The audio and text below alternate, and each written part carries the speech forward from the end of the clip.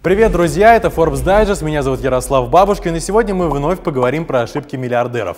В этом выпуске у нас Олег Тиньков и Павел Дуров. Ставьте лайк, подписывайтесь на канал, давайте начнем.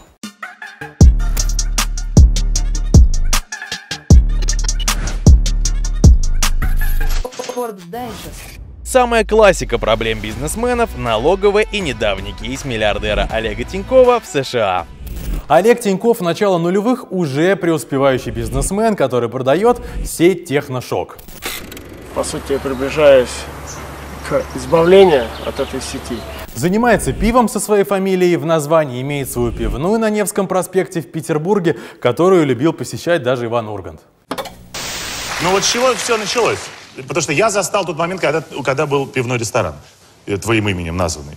И это был первый, собственно, большой пивной ресторан в Санкт-Петербурге, где варилось пиво и так далее. В ней, кстати, Тиньков как-то раз пил пиво с Владимиром Путиным. Я Путина видел один раз в жизни у себя в ресторане Тиньков, мы с ним пили пиво в Петербурге в 2000 году. Он только стал президентом, он ко мне заехал попить пиво, ко мне, он в ресторан заехал. Ну и я там оказался, и я с ним буханул, мы так про Германию, про его поговорили.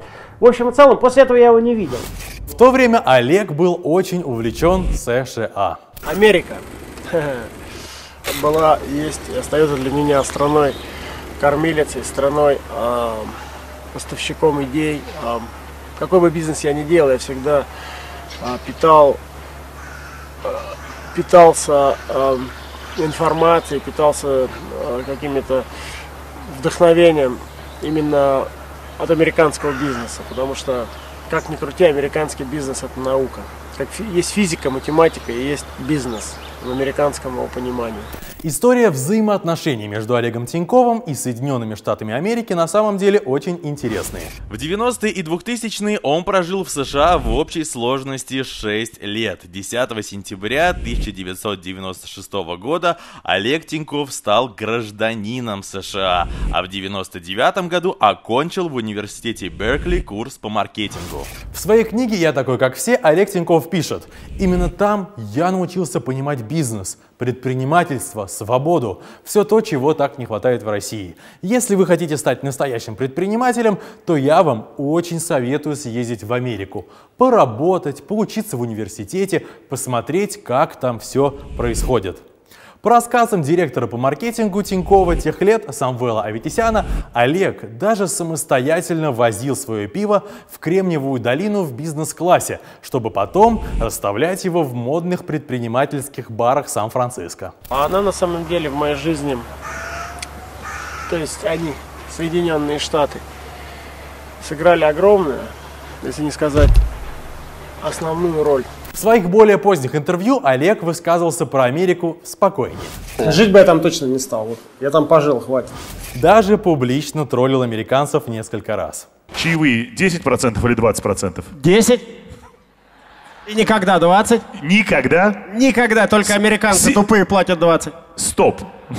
Должен скомпенсировать. Подожди, а то, а то меня ты в- только что сказал, что- к Америке, э, так сказать, А, скомпенсировать. Это- компенсировать. Но чаевые – это еще полбеды, а вот налоги. Все, кто интересовался правилами жизни в США, знают, что неуплата налогов в Америке в некоторых штатах по степени наказания страшнее, чем убийство. Когда Тиньков был гражданином США в статусе долларового миллионера, платить налоги было еще терпимо. Но в 2013 году он вывел Тиньков банк на IPO и стал миллиардером. Сумма налогов должна была вырасти в разы, и Тиньков отказался от американского гражданства. По версии американской налоговой, он заплатил налог на экспатриацию, так называемый exit tax, в статусе бизнесмена средней руки, а не миллиардера. Что же случилось? Что это за налог такой? И мог ли Тиньков ошибиться? Минюст США считает, что Тиньков занизил свои доходы при подаче налоговой декларации, когда отказывался от гражданства США. Как следует из документов Минюста, Тиньков отказался от гражданства через три дня после IPO TCS Group, в результате которого его доля, как контролирующего акционера, стала стоить более 1 миллиарда долларов.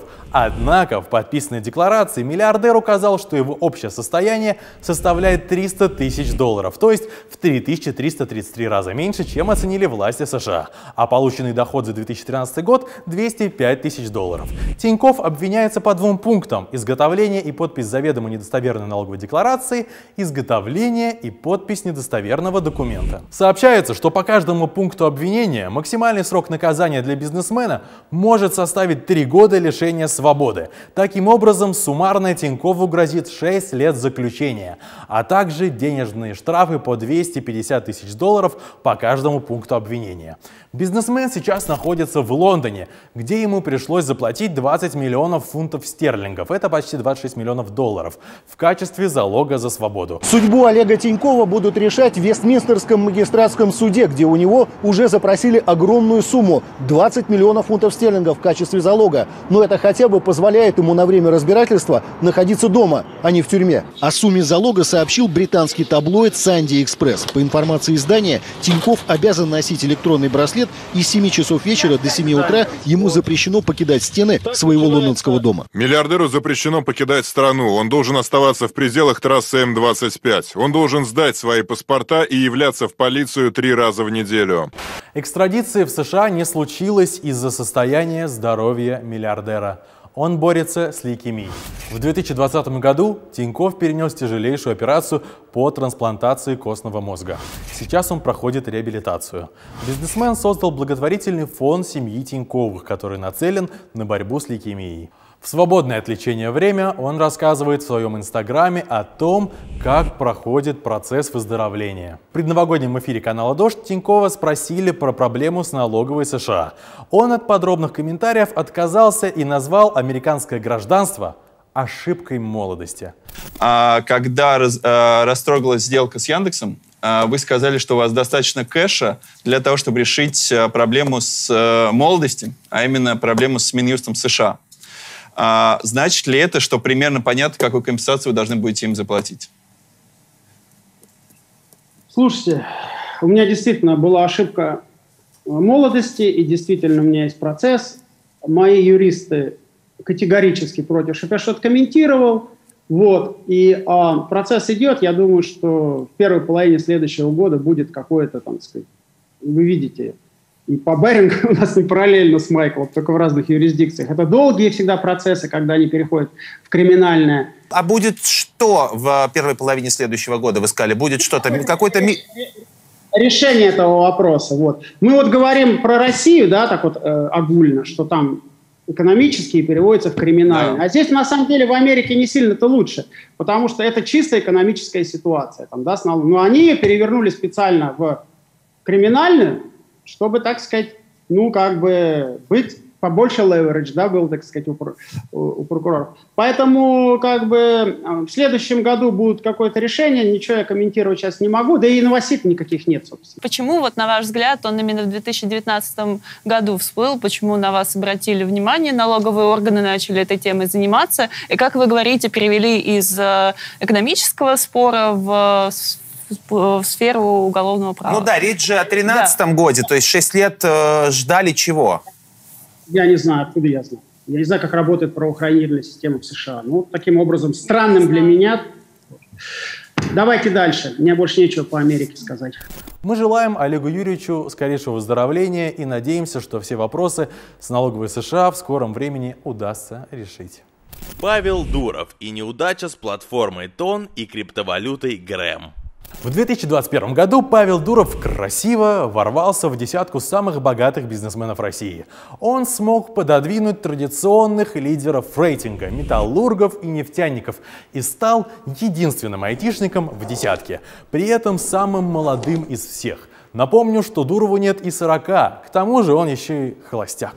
Но путь Дурова не без ошибок, и если драматичный разрыв отношений с ВКонтакте, продажа компании холдинга Усманова, Mail.ru Group, отъезд из России, скандалы вокруг запрета Телеграма, можно рассматривать с разных сторон. Кто-то рисует из Дурова, например, рыцаря на белом коне, кто-то говорит, что эти решения были чересчур эмоциональны, то недавнее событие с платформой Тон и криптовалютой Грэм можно отнести к неудачным главам в карьере Павла Дурова. И опять, это история русского коммерсанта в Америке. Впрочем, все опыт. В Соединенных Штатах нашим бизнесменам приходится сталкиваться не только с жестким налоговым законодательством, но еще и с регулированием онлайн-пространства, что в первую очередь является проблемой для IT-бизнеса. В данном случае примером является кейс Павла Дурова, который не рассчитал свои возможности в противостоянии с регуляторами на рынке США. Основатель сети ВКонтакте и мессенджера Telegram хотел запустить блокчейн-проект Тон, Telegram Open Network, в рамках которого планировалось выпускать цифровую валюту Грэм. В 2018 году Telegram запустит Telegram Open Network – Тон – Быструю, масштабируемую и удобную для пользователей криптовалюту и блокчейн-платформу. Каждый пользователь Телеграма получит тон кошелек, а это означает, что данная цифровая валюта станет самой распространенной в мире. В силу особенностей архитектуры сети, ее пользователей значительно сложнее идентифицировать, а ограничить доступ к сайту практически невозможно. Звучит круто, да? Но уже чувствуется, что едва ли какому-нибудь государству в мире это понравится. По задумке, с технической точки зрения, сайты ТОН мало чем отличаются от обычных веб-страниц. Однако доступ к ним осуществляется посредством сети ТОН, которая работает как бы поверх интернета, так называемая оверлейная сеть. Но в 2020 году проект потерпел фиаско. Правительство США в итоге не позволило создать неподконтрольную платформу. Комиссия по ценным бумагам США, SEC, запретила выпуск криптовалюты Грэм, признав ее ценной бумагой. Дурову пришлось вернуть более 1,2 миллиардов долларов, привлеченных из 1,7 миллиардов инвестиций от крупных вкладчиков со всего мира. Среди инвесторов Тона есть и известные российские фамилии. Например, печально известный бывший министр по вопросам открытого правительства Михаил Абызов, который сейчас сидит в местах не столь отдаленных. Он инвестировал в платформу 20 миллионов долларов через фонд Betis Holdings Limited.